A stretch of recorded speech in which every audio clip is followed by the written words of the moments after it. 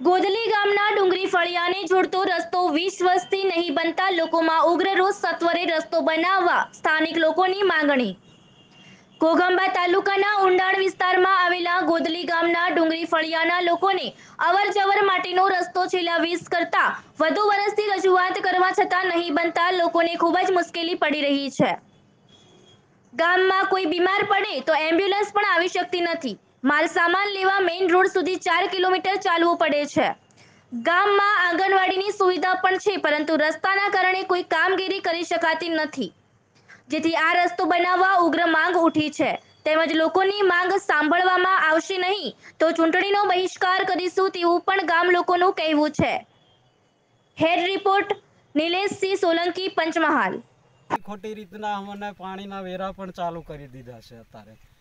ઘરના વેરા મોટા બંગલા હોય એ રીતે અમારા પાંચસો પાંચસો રૂપિયા કોઈકના અત્યારે હવે તમે શું માંગણી શું છે તમારી? શું કરવા માંગો? રોડની સુવિધા પચીસ વર્ષથી નથી. એ રોડની સુવિધા માટે અમે લડી રહ્યા છે અને લડતા આવ્યા છે અને જાહેરાત પણ કરતા આવ્યા છે અત્યાર સુધી. હવે પછી શું કરશો? આ ગામ લોકોને કહીએ તો ગામ લોકો તમારા રસ્તા ન થાય. હવે પછી શું કરશો તમે રસ્તો? હવે જો કોઈ બી રાજકારણ કે ગમે તે સરકાર વિશે ચૂંટણી આવતી હોય છે. ધારાસભ્ય અથવા નાયક ચંદ્રસિંહભાઈ રૂપાભાઈ ગામ ગુરલી તાલુકો ગુગમા જિલ્લો પંચમહાલ.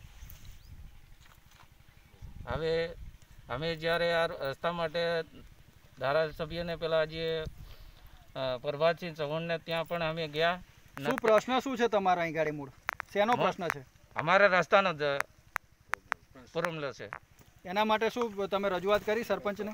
હા સરપંચને સરપંચોને પણ અમે કીધું. કે સરપંચ પણ કે હાથ થઈ જશે એમ કે. ઉપર કોઈને રજૂઆત કરી? ઉપર તો કરીને. કોને કોને કરી? સંસદમાં પણ પેલા કરી. ધારાસભ્યને પણ કરી. કેટલા વર્ષથી આ પ્રશ્ન છે રસ્તાનો? વીસ વર્ષથી. આ રસ્તા માટે જમીન છે બધી? ને? ને? જમીન બધી છે. કયું ગામ લાગે આ? ગોદલી. કેટલી વસ્તી હશે આજુબાજુ? લગભગ પાંચસો થી અઢીસો. હા એટલી કાઠવા કરણસિંહ બારસિંહભાઈ મારું નામ છે. હું ગામ ગોદલીના. હું ડુંગરા ડુંગરી ફળિયાથી બોલું છું. આ રસ્તો અમારે વર્ષોથી અમે માંગણી કરીએ છીએ પણ આ રસ્તાનું અમે સરકારશ્રીને જણાવ્યું છે વત્તા અમે તાલુકામાં જણાવ્યું છે અમે જિલ્લાની અંદર જણાવ્યું છે. અમે માનનીય શ્રી સાંસદને પણ જણાવ્યું હતું અમે ધારાસભ્યને પણ જણાવ્યું હતું. પણ અમારો રસ્તો અત્યાર સુધી કોઈ બી ધ્યાનમાં લેતું નથી ને અમારો રસ્તો જે છે એ અમારો રસ્તો જે જો દરરોજની જીવન જરૂરિયાત રસ્તો છે અમારે એ રસ્તો હજુ અમારે ભણી શક્યો નથી. કેટલા કિલોમીટરનો રસ્તો અમારે લગભગ આ છે સાત કિલોમીટર જેવો. સાત કિલોમીટરનો રસ્તો છે. ક્યાંથી ક્યાં સુધીનો છે? એ છે કે આપણે પેલું આપણે હજુ છે અને આ ભાઈઓને બહેનોને બધાને દૂર પડે અહીંયા આંગણવાડી એ પેલી બાજુ ચાલતેલી તે આંગણવાડી આવી તે આ રોડ માટે આંગણવાડીની સુવિધા કંઈ નહીં ચાલતી. બાળકોને રસીકરણનું નહીં બરાબર થતું. પછી નાસ્તો પણ પૂરો નહીં મળતો અને પછી બહેનોનો નાસ્તો અહીંયા પડે છે ને બહુ દૂર પડે તમે શું કરો છો?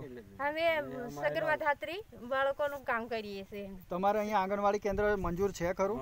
હા છે. છે ચાલુ છે. પણ આ રોડ માટે પહોંચી નહીં શકતું.